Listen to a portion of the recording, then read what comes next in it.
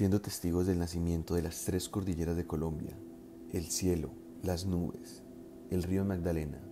Todo esto hacen que el mejor de café de Colombia sea el café del Huila. A continuación vamos a conocer cómo se siembra y se produce el mejor café. Nosotros, cuando yo empecé a trabajar, yo tenía como, con el café tenía como 13 años, 14 años, comencé a trabajar cuando llegamos acá al Huila. Eh, veníamos de Caquetá, llegamos acá al y comenzamos a trabajar, a conocer el café y ver cómo, cómo, cómo empezamos nosotros. Miramos tendencia de café y pues por ahí empezamos nosotros a trabajar.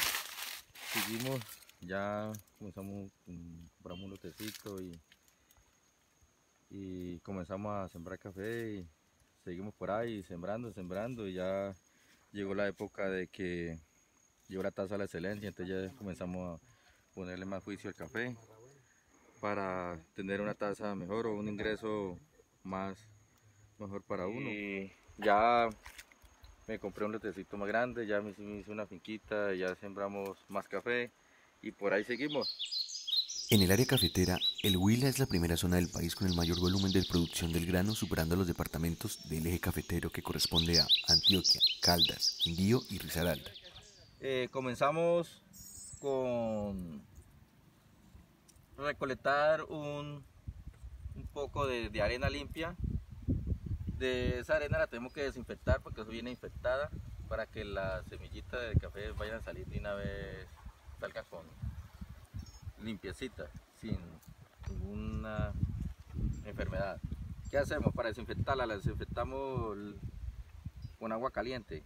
Le echamos agua caliente bien a la arenita bien, la lavamos sin agua caliente para matarle todo lo que tenga la infección. Como también otros que le echan químico, cualquier cosa para eso, pero nosotros no acostumbramos a echarle químico, le echamos es agua caliente, con eso nomás tenemos para eh, matarle toda la infección. Regamos el café, después de que ya le echamos el bien frío, regamos el café bien regadito bien regadito. Lo tapamos con algo, un montecito, así para que el sol no lo vaya a dañar.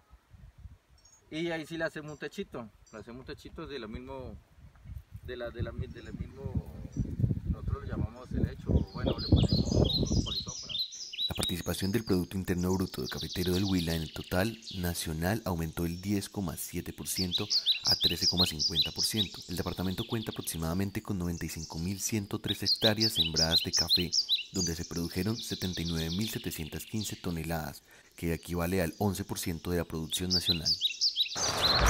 Y seguimos después de que hablábamos del, del amásigo, seguimos y ahí el amásigo lo pasamos a esta bolsa, esta bolsa lo metemos la, el, el palito pequeñito y hay un crecimiento a esta altura.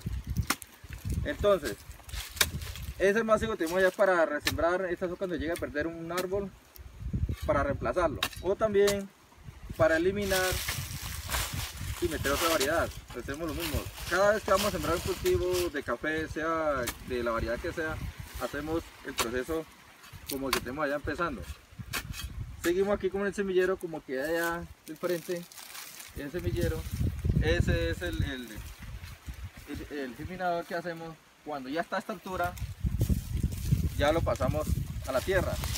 Exclusivamente lo pasamos a la tierra de este modo, haciendo un hueco de un 30 por 30 aproximadamente de, de anchura y de, hondo, lo que más o menos cubre como nosotros llamamos lo que es el, la herramienta, el palín. En este caso que nosotros le damos el nombre acá en Colombia. Damos la bolsa cuidadosamente sintiendo separarse nuevamente. Lo mandamos a la tierra, quede bien cubierto, quede más hondo al nivel de, la tierra, quede un poquito más profundo para que dé más fortalecimiento al árbol cuando crece. A medida que lo vamos metiendo, lo vamos apretando, los lados y lados, quede bien apretadito y vamos echando la tierra. Y enseguidamente de haberlo, de haberlo sembrado, le damos un, le hacemos una, una cubiertica para la parte que sea pendiente o no sea pendiente, para uno y para echarle todos los alimentos que requiere el árbol. Antes se le echa acá encima o es muy pendiente para uno separar y no dañar el árbol. Ese es de sembrar un árbol de café. El café de Colombia es famoso a nivel internacional por sus sabores, sus olores, su aroma y las tonalidades que van cambiando dependiendo de la región desde donde se está tomando. Por eso es el mejor café, el café de Colombia. Bueno, ya terminamos de, ver el proceso del café. Mientras está así, hasta que está así, lo podemos tomar.